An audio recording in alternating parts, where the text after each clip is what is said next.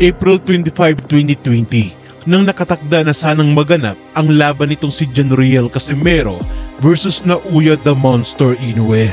Ang kaso nga lang, ito ay nakansila dahil nagkaroon noon ng pandemya. Ang pagsasara noon ng mga venue dulot ng COVID-19 ay ang siyang naging dahilan kung bakit nakansila ang nasabing laban. At ang bakbakang Nauya Inoue versus Janriel Casimero ay isa sa pinakapinanghihinayangang laban na hindi natuloy ng marami sa ating mga Pinoy boxing fans. Dahil ang tunggaliang yun ng dalawang boksingero ay naglalayong pagsamahin ang mga titulo sa Bantamweight Division. Hawak noon itong The Monster ng Japan ang kanyang dalawang pandaigdigang kampyonato habang itong si Janriel Casimero naman ay tangan-tangan ang kanyang WBO na titulo at ang laban din na yon ay ang siyang pinaka-inaasam-asam nitong si Cuadro Alas upang lalo pa siyang makilala at napakita niya sa lahat ang kanyang natatanging husay sa mundo ng boxing. Simula noong makansila ang kanilang pagtutuos ay pinagpatuloy ni Janriel Casimero ang kanyang karera kung saan ay nilampaso nito ang lahat ng mga nakalaban niya.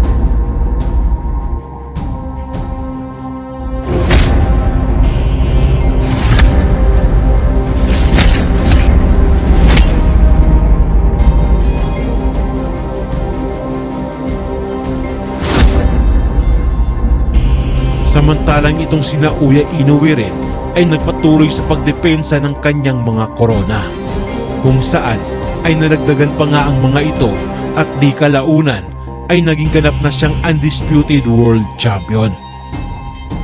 Bagamat ilang taon na ang nakalipas at mukhang malabo na ngang magharap pa ang dalawa sa ibabaw ng lona, ay umaasa pa rin ng ilan sa mga tagahanga nitong si Cuadro Alas na matutuloy pa ang laban niya kontra sa tinaguriang halimaw na sina Uya Inoue.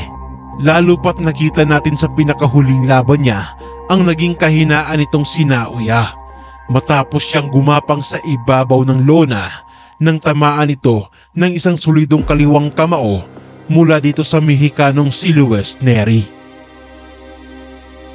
Kaya naman ang naging sigaw ng mga boxing fans nitong si Janriel Casimero ay panigurado umanong mas lalong gagapang itong halimaw ng Japan kung ang mas malakas na kamao nitong ating kababayan ang dumapo sa panga nitong sinauya. At upang mas mabigyan pa tayo ng ideya sa kung ano ang kalalabasan ng laban nila, kung sakaling ito ay matuloy pa, ay narito at atin munang balikan ang pinakahuling laban nitong si Janriel Cuadro Alas Casimero. Kung saan sa laban na yan ay natupad na rin sa wakas ang isa sa kanyang pangarap na makalaban sa bansang Japan at makapagpakitang gilas sa harapan ng mga kababayan nitong sina Uya Inoue. 第1ラウンドです。勢いをつけています右のフックそして好戦的に距離を潰していった。しかし僕も返します。カシメルが近くにリボディさらにキックリーダー思い切り打っていった。さあさらにここでまとめるか。方頭を下げながら入って小栗右のストレートしかし右フックカシメルが前に出ますカシメルが小栗を今ロープに迫って山田さん、はい早くもカシメそうですね、カシメロまあさて岩瀬さんはこの状況どうご覧になってらっしゃいますか？そうですね。リーダーどうですか分かっていいですね。リラックス、ビリーダブルです。そして近く、左フック、ことを注意したいと思います。右フックです。左フック、界3回戦チャンピオンのおっと、ちょっとバランスを崩しました。右フックだ。しっかり小栗選手もリラやってますから、ね。えーボディ、今でかい相手です。お互いにボディを打ち合っています。右ック、橋本右ック、あれ、そして左ック、右ック、ちょっと動きが止まった小栗、さあ右フック、思い切りフルスイング、カシメロがそれ、まあ、一つリズムに乗りますからね、放っていきます、ナンバー、そして右フックを放っていきます、ワンツー、右のストレート、左ボディ、そして左、コンビネーションつながって右ストレート、さあ、ここで捉えるか、右ストレート放っていってカシメロになりますが。やっぱりこれあの近い距離で戦うなら自分からという小栗の考えですかね。真っ向勝負でしょうね。えー、マシメロも少し前に出ました。ボディストレート左フックを放っていきます頭を下げるウリ右フックだ右フックを放っていった左アッパー右アッパーシシテルック返した小木に返しましたワンツー右ストレートカシメロ襲いかかっていきますさあここは左側から右ストレートボールに放っていく小木ですそして一方ワンツー右フック上がっていきましたカシメロ左フックだちょっと足につけるかもしれないですね。あそうですか、はい。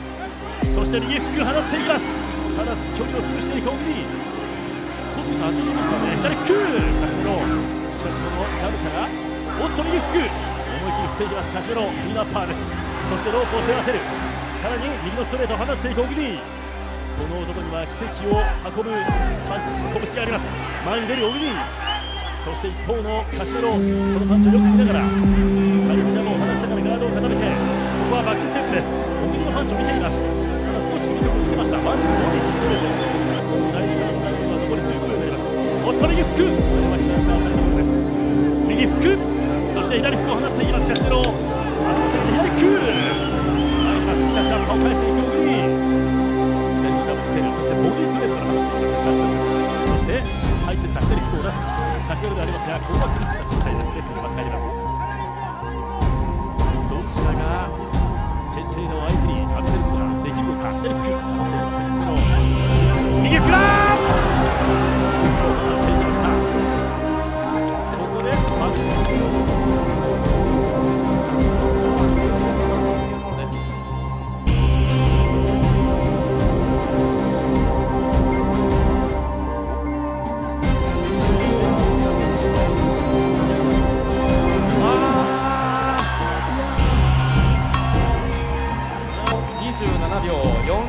ド27秒負傷引き分けでございます。